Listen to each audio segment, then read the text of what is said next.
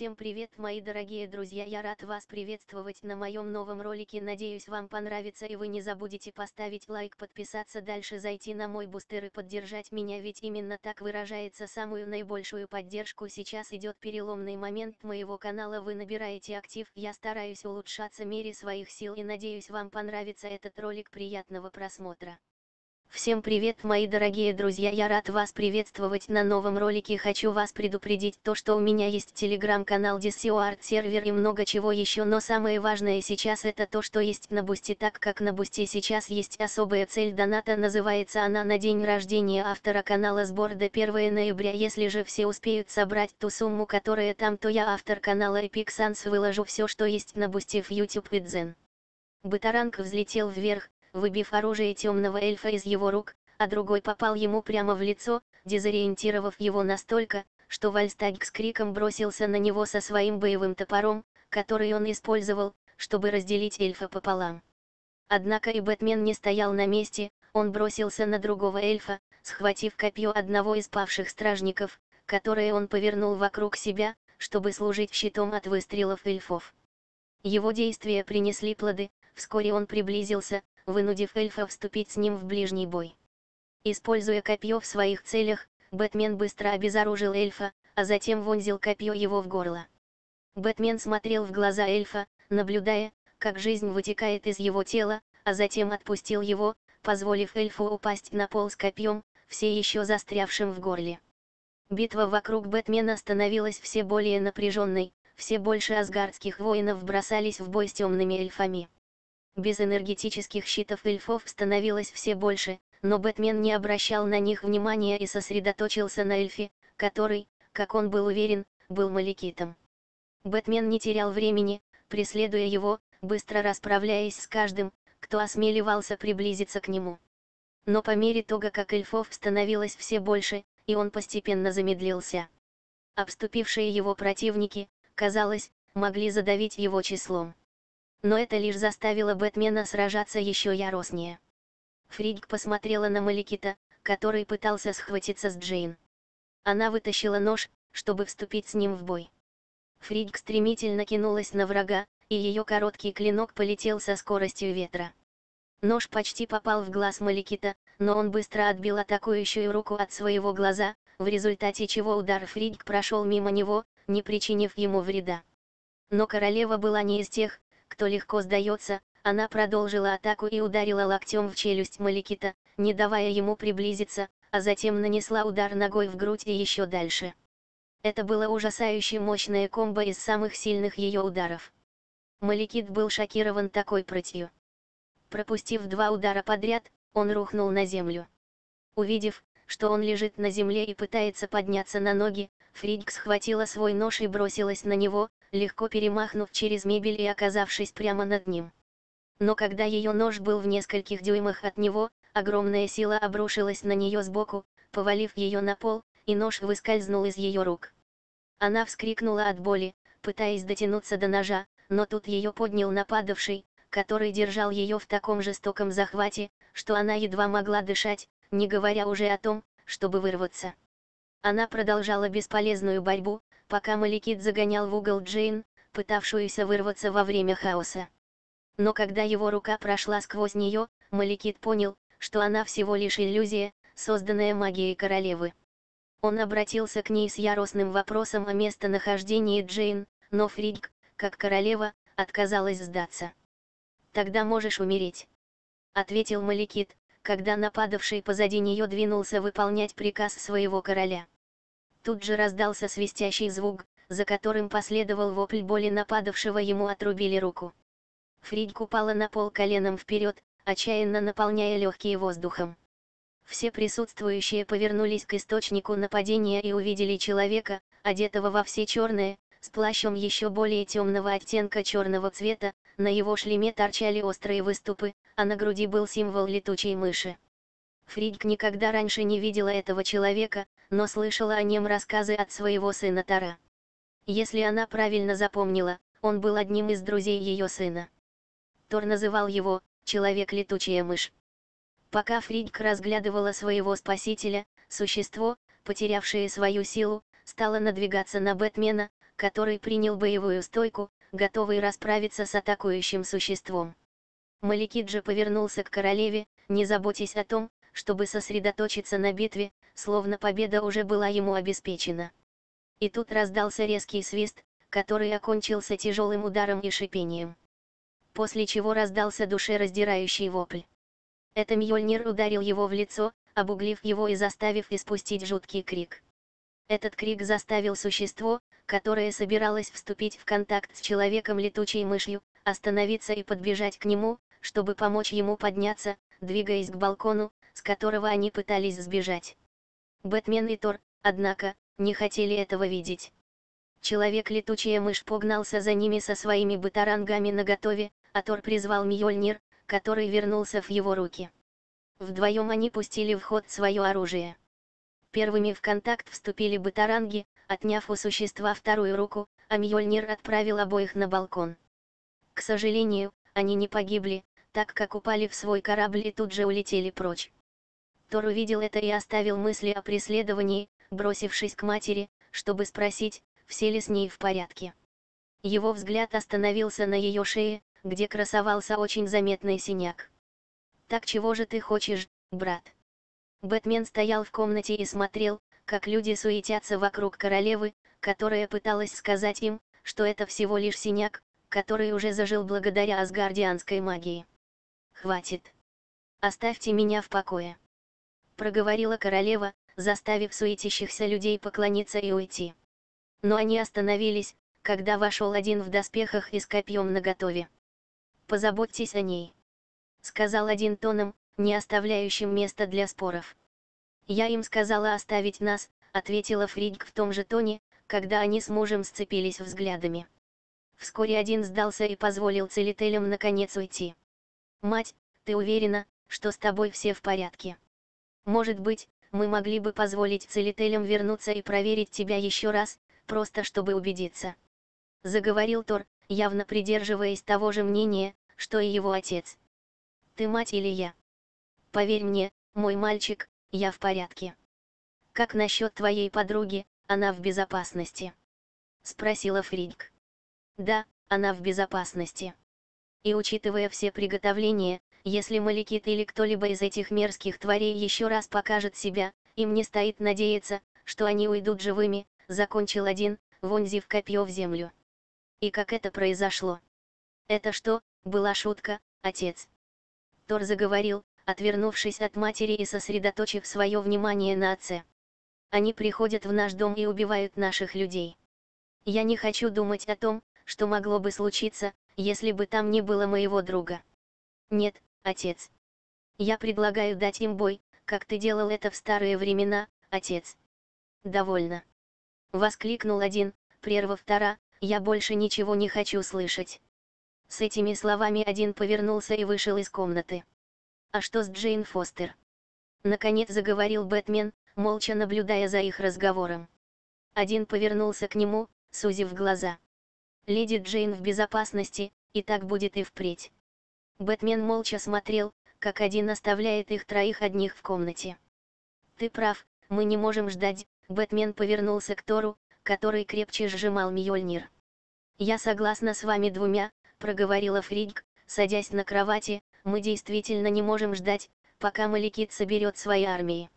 Мы действительно должны дать ему бой, но в то же время Маликит враг, существовавший еще до появления Асгарда.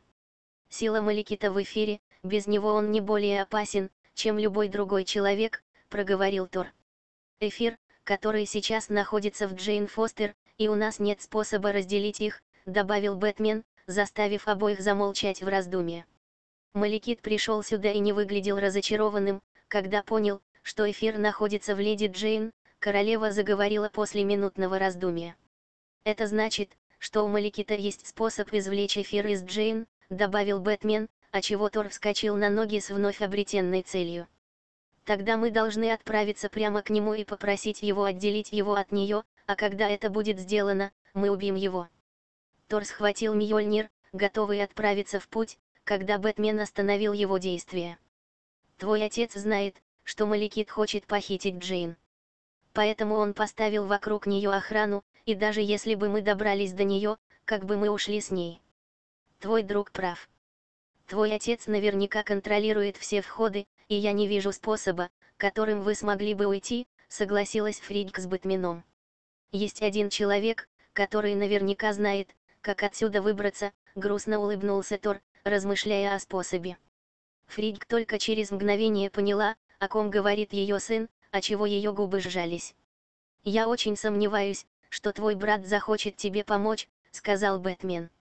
«Он мой брат, и я уверен, что смогу снова привлечь его на свою сторону», — с этими словами Тор вышел, чтобы поговорить с Локи. Бэтмен еще раз взглянул на Фридик, после чего отправился вслед за Тором в камеру. Звездочка, звездочка, звездочка. Состояние темницы говорило о том, что она сильно пострадала. Тела были убраны, но пятна крови остались. Пройдя дальше, двое оказались перед единственной камерой, которая осталась нетронутой. Заглянув в нее, они увидели, что она совсем не похожа на другие камеры в этом месте, а больше напоминает роскошную комнату с книгами и другими вещами, аккуратно расставленными по комнате. Локи продолжал игнорировать присутствие двоих, казалось, сосредоточившись на книге, которую он держал в руках. Наконец, через минуту он заговорил. Хм, значит, они были правы. Они случайно не получили твою. Как там ее звали? Ах да, Джейн. Я слышал, у нее есть то, что нужно эльфам. Нам нужна твоя помощь, брат, сказал Тор, а чего Локи захлопнул книгу и разразился хохотом. Ты просишь меня о помощи. Вот это зрелище. Ха-ха-ха. Твоя мать могла умереть заговорил Бэтмен, привлекая внимание к своей стороне, и это была бы твоя вина, если бы она умерла. Слова Бэтмена заставили Локи сделать выпад вперед и ударить по энергетическому полю, разделявшему их, вызвав пульсацию, которая полностью сосредоточилась на Бэтмене. Оба ничего не сказали, просто уставившись друг на друга. «Пожалуйста, брат, нам нужна твоя помощь, чтобы мы могли отомстить тем, кто посмел наложить руки на мать. Сражайся рядом со мной, как и раньше, брат. Снова заговорил Тор. Она не моя мать. Но месть интересует меня. Так чего же ты хочешь, брат? Вырваться из Асгарда. Составив план, Бэтмен направился к комнате Джейн. Используя тени и придерживаясь потолка, ему удалось избежать большинства охранников, доказав, что независимо от планеты люди просто не смотрят вверх. Вскоре он приблизился к комнате, где она находилась. Но сразу он ничего предпринимать не стал, а остался на месте, видя, что вокруг двери много охранников. Кроме того, ему негде было спрятаться. Поднеся руки к уху, он активировал свой коммуникатор. «Я на месте». «Хорошо, я услышал тебя». «Валстагик, теперь твоя очередь». Раздался голос Тара. Вскоре последовал ответ Валстага. «Есть». Через несколько мгновений во дворце раздались сигналы тревоги, и Бэтмен воспринял это как сигнал к наступлению. Два бытаранга пролетели мимо, унося двух человек, и объявили о присутствии Бэтмена. Стражники, к их чести, быстро встали в строй, направив наконечники копий в сторону Бэтмена. «Стоять во имя Всеотца!» Воскликнул один из них, когда Бэтмен просто стоял на месте, не показывая никакой боевой стойки. Сделав шаг вперед, стражники решили атаковать. Полагаясь на свою скорость, Бэтмен бросился в атаку, лишив стражников преимущества в расстоянии. Бэтмену удалось оттеснить стражника в середину импровизированного строя, заставив стражников отказаться от копий в пользу мечей, пристегнутых к поясам. Бэтмен ударил охранника коленом в живот, а затем добил его ударом в челюсть, отправив в нокаут. Затем Бэтмен отбросил потерявшего сознание охранника в одну сторону. Отбросив часть охранников и заставив остальных отойти в сторону, Бэтмен получил возможность уйти, избегая ударов, которые охранники намеревались нанести ему по голове. Бэтмен вытащил пару бытарангов, которые держал в обеих руках как кинжалы, встречая охранников в бою. Одним быстрым движением он обошел одного стражника и схватил его за спину, а затем отбил удар другого, получив при этом новое оружие. С мечом в руках Бэтмен почувствовал себя совершенно иначе. Охранники тоже это поняли. Опытные воины сразу сообразили, что в этом случае у асгардийцев не было ни единого шанса. Но отступать они не имели права, а Бэтмен не желал их убивать.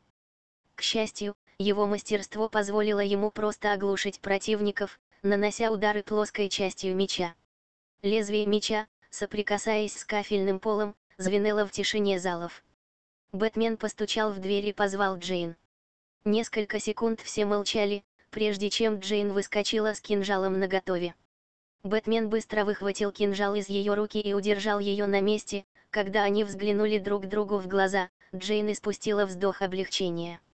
На минуту я подумала, что Мали, ее слова оборвались, когда она увидела бессознательных асгардианцев, которые теперь усеивали коридор.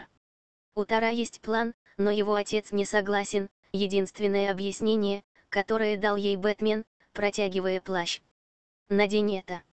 Наш отвлекающий маневр сработал, но это лишь вопрос времени, когда новые воины Асгарда придут сюда. Делай, что я говорю, именно то, что я говорю. Сурово проговорил Бэтмен. И только тогда она кивнула в ответ. Оба держались в тени, направляясь к месту назначения. Большое количество охранников промчалось мимо них, направляясь к тому месту, где он вызволил Джейн, что означало, что у него осталось мало времени, так как их место назначения быстро станет ясно Одину, как только он обнаружит отсутствие Джейн. Планы изменились, держитесь ближе. С этими словами Бэтмен вышел из тени и выстрелил из батарангов в ближайших к нему охранников.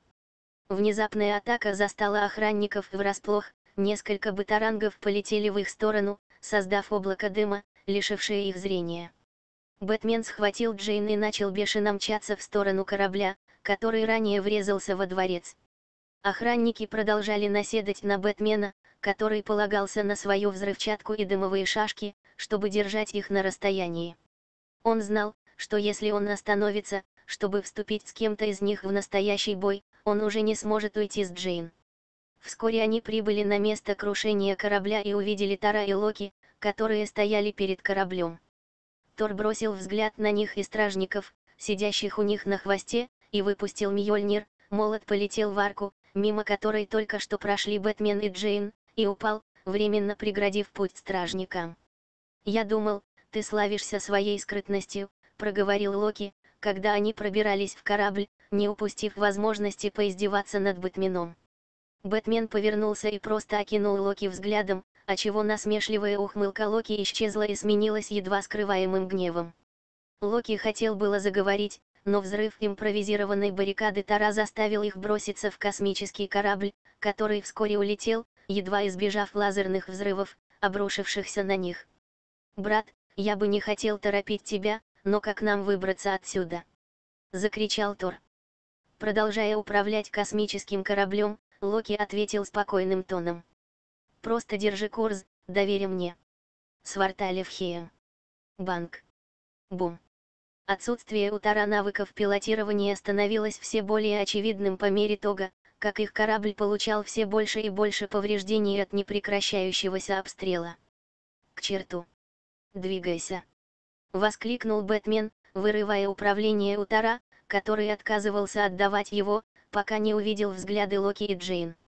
С кораблем под своим контролем Бэтмен начал вилять вокруг, избегая лазерных ударов, и быстро влетел в торговую зону. Находящиеся внизу воины, которые все еще приходили в себя после атаки, увидели направляющийся к ним корабль и с криками бросились в укрытие, полагая, что это еще одна вражеская атака. Бэтмен продолжал опускать корабль, пока не оказался прямо посреди зданий, одно неверное движение и корабль врежется в здание, положив конец их дерзкой попытке бегства. «Что, во имя всего святого, ты делаешь?» Воскликнул Локи, держась за то, что было ближе всего к нему, чтобы не упасть, я сказал тебе держать курс. Ты собираешься убить нас всех. Продолжал восклицать Локи, когда они едва избежали сильного огня. «Я знаю, что делаю», — холодно отрезал Бэтмен и сделал резкий поворот, заставая своих преследователей врасплох и заставляя их разбиться. Мастерский пилотаж Бэтмена заставил всех не только крепче держаться, но и восхищенно цокать языком. Локи даже хотел пошутить, что глупо меньшего ожидать от летучей мыши. Бэтмен знал, что если бы их считали настоящими врагами, асгардийцы без колебаний взлетели бы и обрушили на них адский дождь. Но учитывая, что в корабле находились два принца, а также хозяин камня реальности, никто из них не осмелился этого сделать, что позволило Бэтмену продолжать уничтожать преследователей. Вращаясь, Бэтмен пролетел мимо двух зданий, немного поцарапав свой корабль, после чего взлетел в небо, используя дымовую завесу. Это позволило Бэтмену на время оторваться от своих преследователей. Тор первым осознал, что преследователей потеряли их. Ха-ха-ха. Ты сделал это, мой друг. Ты сделал это. Тор продолжал хлопать Бэтмена по плечу, на его лице появилась широкая ухмылка. Локи, куда теперь? Этот корабль долго не продержится, слова Бэтмена вместе со звуками тревоги предупредили их о грядущей сложной ситуации. Локи двинулся вперед, ища глазами выход, в то время как звуки в корабле становились все громче и тревожнее. «Нам туда!» — крикнул Локи, указывая вперед, заставляя Бэтмена лететь в указанном направлении. Но когда они приблизились, Джейн взволнованно проговорила. «Ты уверен, что правильно вспомнил?» «Потому что там только камни». «Брат, там нет ничего, кроме камней», — прорычал Тор. «Конечно, это выглядит именно как каменная скала. Если бы этот проход был очевидным, тогда это не было бы секретом, не так ли?» Слова Локи заставили их замолчать, но когда они приблизились к горе камней, голова Тара завертелась, его внимание быстро переключилось между горой камней и братом, который вновь обрел уверенную ухмылку. Когда они приблизились к скале, недоверие и страх внутри Тара и Джейн взяли верх, заставив их закричать, закрыв глаза. Бэтмен сосредоточился на том, чтобы пролететь сквозь скалу и оказаться в совершенно новом месте с незнакомым небом. Когда они вошли в новое царство, корабль окончательно развалился. Он упал в пустыне, врезавшись в барханы внизу и подняв вверх огромные волны песка. После крушения на несколько секунд воцарилась жуткая тишина. Но потом с грохотом приземлились, отвалившиеся ранее большие куски корабля. К счастью, они упали на некотором расстоянии. Тор первым выбрался наружу и осмотрел окрестности, после чего повернулся назад, чтобы помочь Джейн выбраться из корабля. Когда оба оказались на земле, Бэтмен выпрыгнул наружу, а за ним последовал недовольный Локи. Хм, так это Сварталев Локи оглядел море песка, честно говоря, я ожидал чего-то большего от дома легендарных темных эльфов, Локи прищелкнул языком, продолжая. Мы должны найти Маликита, чтобы он смог вытянуть эфир. Затем мы убьем его. Прорычал Тор, крепче сжимая Мьёльнир. Только не говори мне, что ты ожидаешь, что он просто сделает то, что ты скажешь. Если это так, то ты еще больший дурак, чем я ожидал, заговорил Локи, не желая упустить шанс подколоть Тара. Локи. Тор, легко разозлившись, повернулся к Локи, но был остановлен Бэтменом, который появился перед ним. Хватит об этом. Локи прав, слова Бэтмена заставили ухмылку на лице Локи стать еще более дикой, Наконец-то кто-то заметил мое величие. На эти слова Бэтмен вскинул бровь и продолжил. Маликит не станет просто так выполнять наши просьбы. И ты это сам отлично понимаешь. Поэтому, чтобы заставить его сделать это, нам нужно, чтобы он поверил, что контролирует ситуацию, и для этого у меня есть план. После слов Бэтмена в глазах всех присутствующих промелькнуло выражение согласия. «И каков же твой план?» Спросила Джейн. Предательство Локи. Темные эльфы под предводительством Маликита и Альгрима направились к месту, где они почувствовали беспорядки в своем царстве. Однако они остановились, заметив три фигуры, которые стояли на вершине горы и смотрели на армию. Прежде чем мы продолжим все это, я хотел бы еще раз подчеркнуть, насколько дерьмовым является этот план, обратился Локи к Бэтмену, стоявшему справа от него. «Я согласен с Локи», — сказал Тор, заставив Локи взглянуть на него с прищуренной бровью. «Ну, это впервые, но раз уж мы снова на одной стороне. Ты не против помочь с этим?» Локи поднял руки, на которых были наручники. Тор посмотрел на наручники, а затем снова посмотрел на Локи взглядом, который ясно говорил, «Ты принимаешь меня за дурака. Нам понадобится любая помощь, чтобы справиться с ними», — проворчал Бэтмен, прерывая поединок взглядов. Тор бросил на Локи последний взгляд. «Я тебе доверяю». С этими словами он освободил Локи, хотя при этом на его лице было выражение крайнего недовольства. Локи потер запястье, освобожденный от оков. Теперь трое снова стояли перед армией, но прежде чем они ринулись в бой, Локи снова заговорил.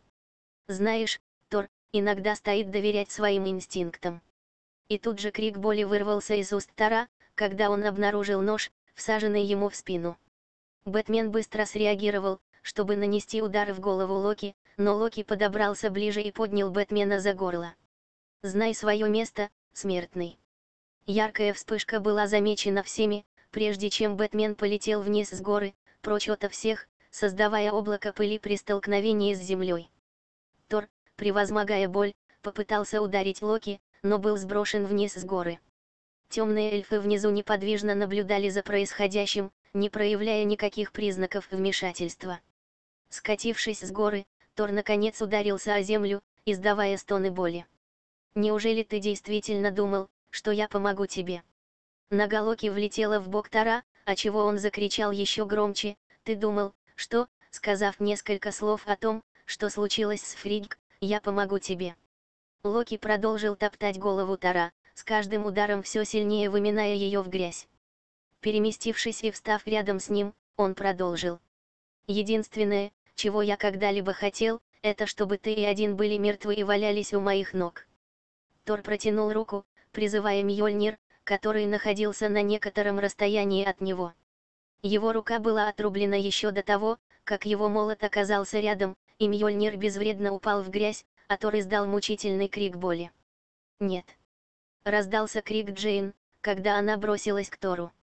«Маликит, я Локи из Етунхейма, и я принес тебе подарок». Локи оторвал Джейн от ее любовника и подтащил ее к принцу темных эльфов, и все, что я прошу взамен, это занять место в первом ряду, когда горит Асгард.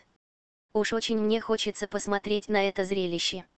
Маликит молча наблюдал за происходящим, когда Альгрим наклонился к нему и заговорил с ним на языке темных эльфов, объясняя, как он нашел Локи в камере и как направил его к Фридк.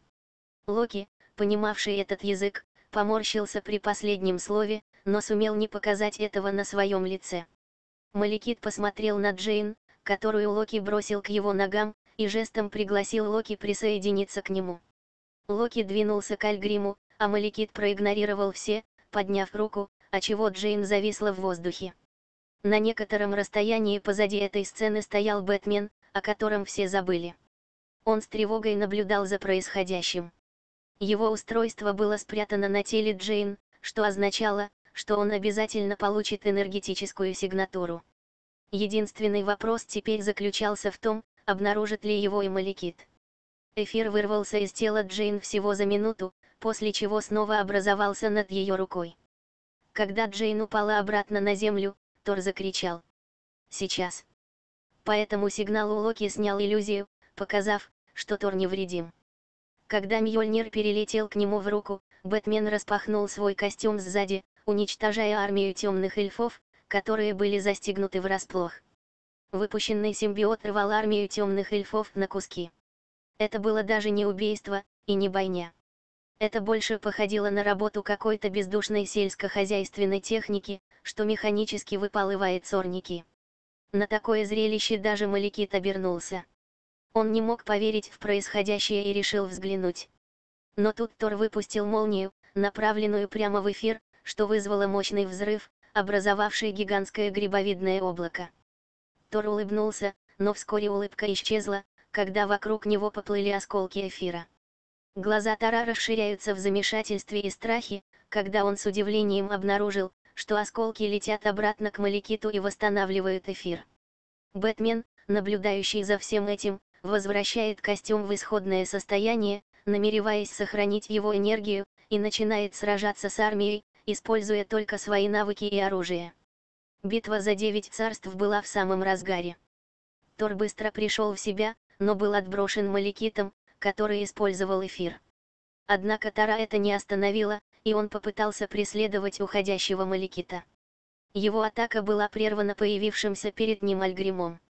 Боевой инстинкт Тара включился, и он бросился прямо на Альгрима, но Альгрим просто отошел в сторону, а затем ударил Тара в спину, отчего бог грома снова взлетел в воздух. Пока продолжалась битва между Тором и Альгримом, армия темных эльфов двинулась на Локи и Бэтмена. Они планировали не дать Локи добраться до Альгрима, а Бэтмену до Маликита, который все ближе и ближе подбирался к его кораблю. Бэтмен из Далстон, когда клинок одного из темных эльфов сумел пробиться сквозь его защиту и пронзить его. Бэтмен быстро вытащил клинок и перерезал горло эльфу, который это сделал. Его плащ моментально превратился в шипы и пронзил эльфов, которые пытались ударить его со спины. Получив свободу действий, Бэтмен выпустил Бытаранг, но Бытаранг не смог причинить вреда Маликиту, так как эфир просто образовал щит, блокирующий его. Маликит лишь бросил на Бэтмена безэмоциональный взгляд и продолжил свой путь. Бэтмен выпустил несколько взрывных устройств, отправив в полет эльфов вокруг себя, а также нанеся видимые повреждения своему костюму. Бэтмен начал свой безумный спринт к Маликиту, пока его костюм продолжал восстанавливаться.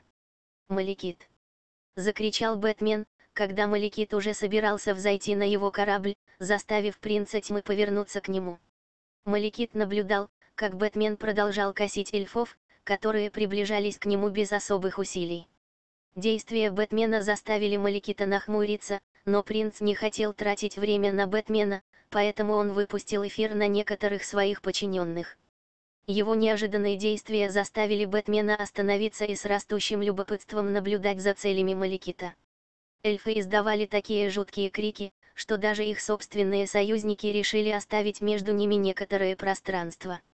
Их жуткие крики вскоре перешли в звериный рев, когда некогда темные эльфы превратились в каких-то деформированных существ. Их рост достигал 9 футов, а кожа была абсолютно черной, как черная земля, на которой они стояли.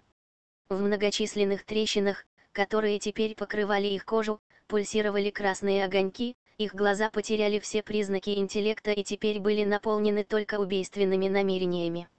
Маликит, наблюдавший за всеми этими изменениями, удовлетворенно ухмыльнулся, прежде чем войти в свой корабль. Увидев, что двери корабля начали закрываться за Маликитом, Бэтмен бросился вперед, и от его неожиданных действий чудовища издали звериный рев и бросились на него. Бэтмен видел это, но продолжал бежать, не проявляя никаких признаков замедления. Когда он был всего в нескольких дюймах от первого из чудовищ, его рука с невероятной силой и скоростью ударила когтями прямо по голове.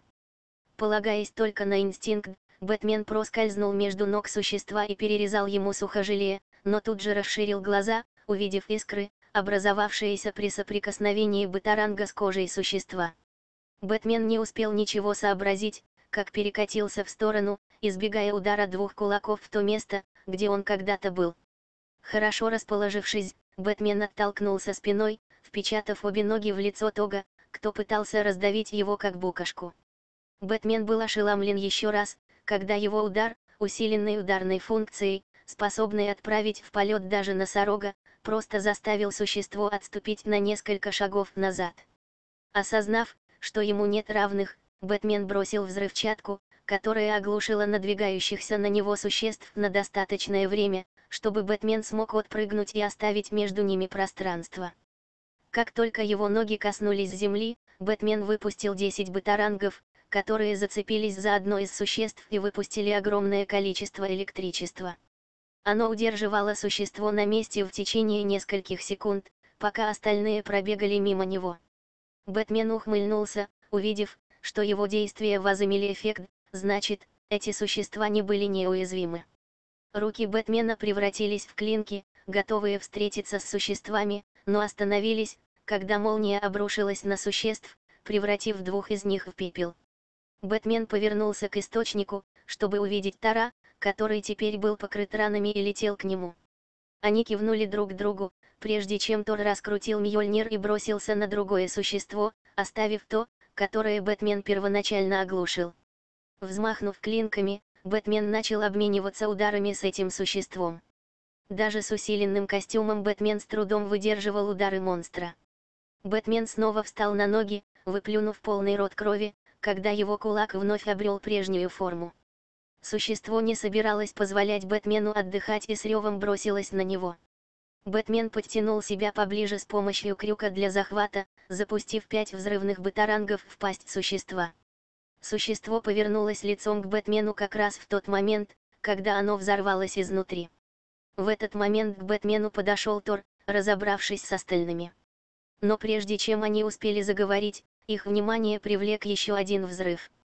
Повернувшись к источнику взрыва, они увидели яркую оранжевую вспышку в том месте, где Локи сражался с Альгримом. Тор и Бэтмен переглянулись и помчались к источнику взрыва.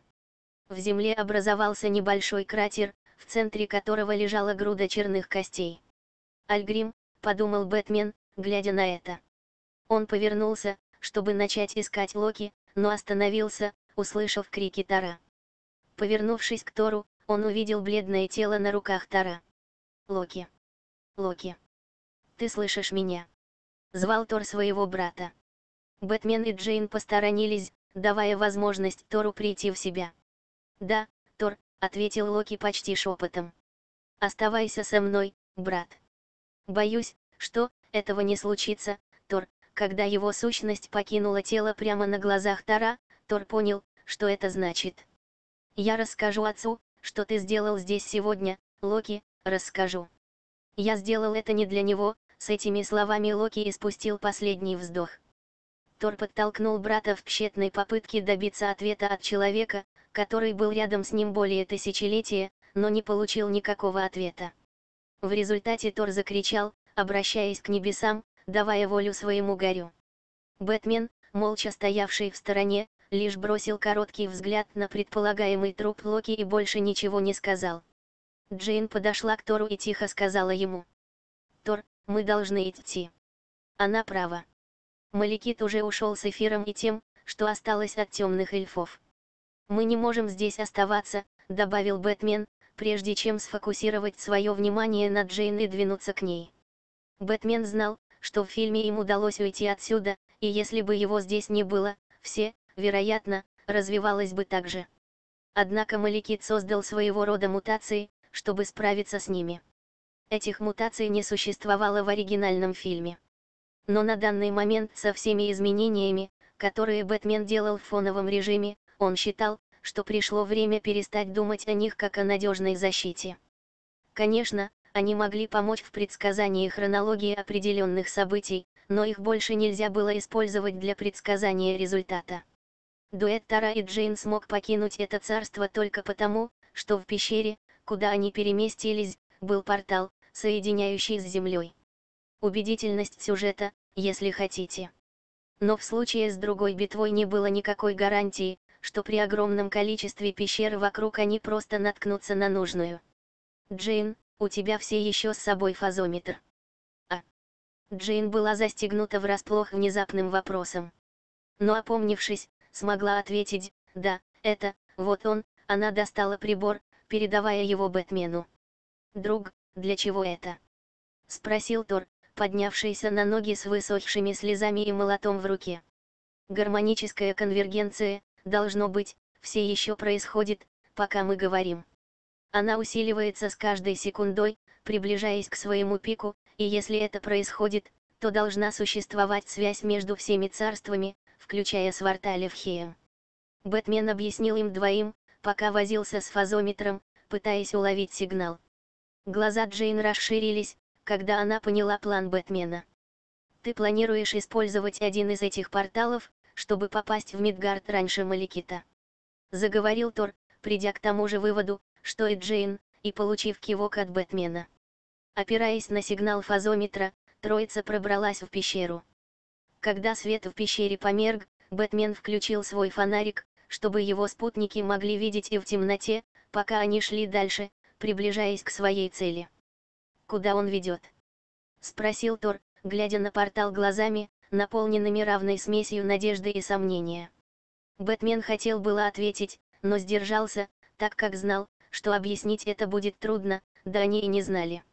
«Неважно, он здесь ненадолго», — сказал Бэтмен и прошел через портал, оставив ошеломленных Джейн и Тара смотреть на то место, где он когда-то был. Они быстро последовали за ним. Через мгновение они поняли, что находится в новом месте, которое было знакомо им обоим. Это. Да, это склад, ответил Бэтмен, позволяя Тору и Бэтмену найти его, стоящего на некотором расстоянии от них, Оракул, найди доктора Селвига. Бэтмен, Тор и Джейн прибыли в квартиру, куда их привел Оракул. Открыв дверь, троица вошла в квартиру. И они тут же подверглись стремительной атаке Дарси, которая набросилась на них с шестом. Бэтмен хладнокровно схватил шест и остановил атакующее движение, наклонив голову, чтобы посмотреть на Дарси. «А, так это вы, ребята. Знаете, дверь внезапно открылась, и я, ну, вы понимаете». Дарси заговорила со своей неизменной улыбкой. Джейн прошла мимо них, оглядывая устройства, которые они расставили по квартире. Она нахмурилась и спросила. «Что здесь происходит?» «Ах да, Тада. Мы нашли Эрика. Дарси подошла к Селвигу, жестом указывая на него обеими руками. Эрик, голос Джейн прервался, когда она придвинулась, чтобы обнять его, я скучала по тебе, где ты был. Сказала Джейн, крепко прижимаясь к Селвигу. Это долгая история, но сейчас нам нужно кое-что сделать, произнеся эти слова, он переключил свое внимание на двух супергероев, стоящих у двери, Тор, Бэтмен, кивнул им Селвик, после чего перешел к карте, которую он положил на стол, вы прибыли как раз вовремя, сказав это, Селвик начал отмечать место на карте, такое уже случалось, тысячи лет назад, и древние были там, чтобы увидеть это. Все великие цивилизации возводили циклопические сооружения, майя, китайцы, египтяне. Они использовали гравитационные эффекты конвергенции. И они оставили нам карту. Карту заговорил Бэтмен, прерывая доктора Селвига, который коротко взглянул на него, а затем заговорил снова. Да, карту. Стоунхендж, Сноуден, Грейтарм. Это все координаты, ведущие нас, сюда. Ян Будби задал вопрос. Гринвич. Стены между мирами почти не исчезнут. Физика пойдет в разнос. Увеличение и уменьшение гравитации, пространственной экструзии. Сама ткань реальности будет разорвана, безжалостно продолжила Джейн, ее глаза постепенно расширялись. Это позволит Маликиту легко добиться успеха, заговорил Тор, теперь уже на стороне Селвига. Кто теперь? Дарси, которая теперь была совершенно растеряна, вопросительно посмотрела на Тора. Маликит, лидер темных эльфов. Он пытался использовать конвергенцию вместе со своим оружием эфиром, чтобы погрузить Вселенную в вечную тьму. Он. Локи. Тор крепче сжал Мьёльнир, приобретя мрачный вид. «Твой брат не придет, да?»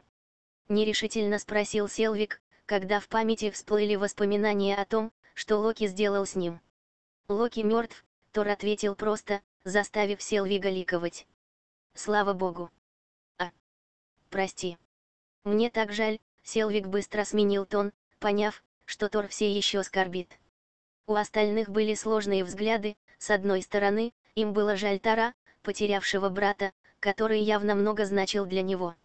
С другой стороны, вторжение в Нью-Йорк было еще свежо в их памяти. Количество людей, погибших из-за действий Локи, определенно превышало тысячу. Они не могли заставить себя оплакивать такого человека, но не могли и не сказать об этом Богу, скорбящему перед ними. И этот конфликт в их сознании заставлял их молчать. Тогда, если он идет сюда. Я предполагаю, что он попытается еще раз разрушить Вселенную, доктор Селвик сменил тему и подчеркнул опасность. Что? Вот дерьмо. Запальчиво воскликнула Дарси, когда глаза ее интернов расширились от ужаса. Доктор, ваши достижения в этой области заслуживают внимания. Есть ли у вас способ остановить конвергенцию? Бэтмен спросил доктора Селвига.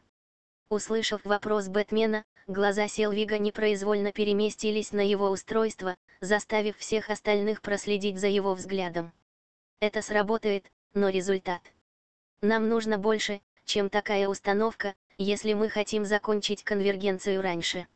Сколько времени у нас есть до конвергенции? Напряженно спросила Джейн.